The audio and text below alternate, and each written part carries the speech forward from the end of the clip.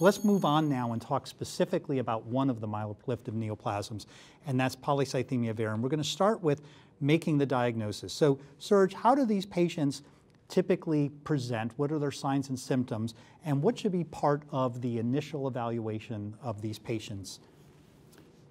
So polycythemia vera, as the name implies, means that all the cells are growing without control. But we are talking really about erythrocytosis. This is the uh, underlying uh, unique feature of this particular MPN, and it's present in uh, everybody, provided there is enough iron there. We already said that some patients don't have extraordinary higher erythrocytosis because they already have iron deficiency at presentation.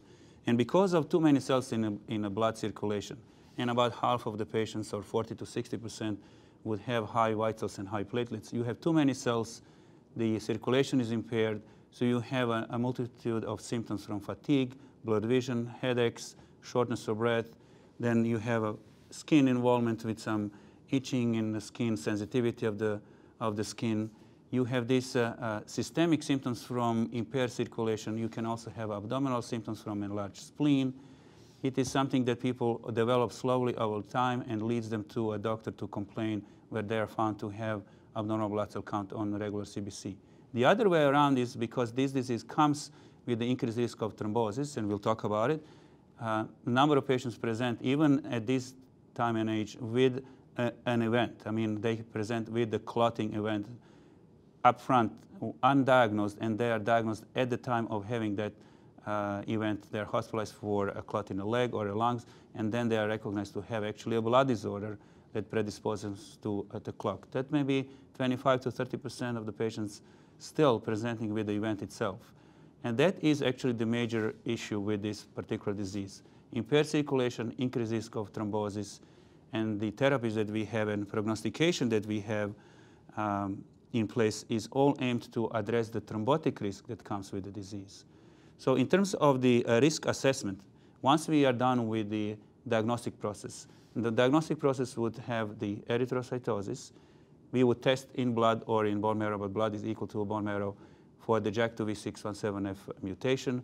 We would look at the bone marrow biopsy to see panmyelosis with increased uh, erythrocytes and the granulocytes. So the bone marrow would be there, the JAK2 mutation, the uh, high hemoglobin hematocrit. You can also look at erythropoietin in blood, which is one of the minor criteria, where it would be low because the bone marrow does not need to produce it anymore. That's a growth factor for the red blood cells. So putting this uh, diagnostic criteria together, you are now confident to have a PV. The next question is, what I mentioned already, what is the thrombotic risk? And traditionally, we have two factors that would determine uh, how we act toward that PV patient. That's a 60 years of age or older, or a history of blood clotting. And if you have one or the other, you are a PV patient with a high risk of blood clotting. If you none of the two, then you are a low risk for the blood clotting. There are some other factors we can talk about, and we should like a white blood cell count. Uh, maybe there is a role for monitoring white cell count a little bit more cautiously. But two factors, age and the history of thrombosis, would divide the patients into uh, groups. And if you are low risk, phlebotomy and baby aspirin.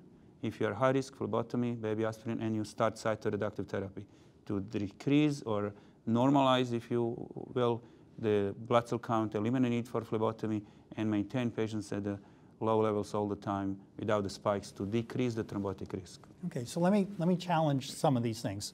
So in the new WHO criteria for diagnosing PV, the threshold for the diagnosis has been lowered to a hemoglobin of 16 and a half for men, 16 for women, okay, to pick up on this masked polycythemia vera. But will a clinician out there be at risk if they have a patient who runs a normally high hemoglobin and they don't do a bone marrow and they don't do a JAK2? I mean, how do you decide who you're going to do that evaluation on? Is it everyone or the ones who have the symptoms? This is really important question, and it extends into the uh, the other uh, side of the coin is, is uh, all these workup absolutely necessary it's, if it's obvious that it's PV. So in cases when, where you would have high normal uh, hemoglobin or hematocrit, as you properly said, the threshold for diagnosis has been lowered to normal levels. It will be 16 for females, 16.5 for men, why not then test anybody who is above those numbers? But you have to have a suspicion for polycythemia vera. That is the clinician's input here. Otherwise, anybody can do it just based on the numbers. So you have to have symptoms, you may have a high vitals or high platelets, you may have a low MCV, which would uh, probably suggest iron deficiency. There must be something else than the number of uh, red blood cells, hemoglobin and hematocrit of 17, for example, then everybody would be testing for PV.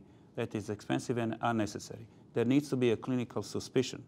On the other hand, to switch the coin, if you have uh, obvious erythrocytosis of hematocrit of 20 and you have JAK2 mutation on blood, you have low erythropoietin and low MCV with iron deficiency, why do you need a bone marrow?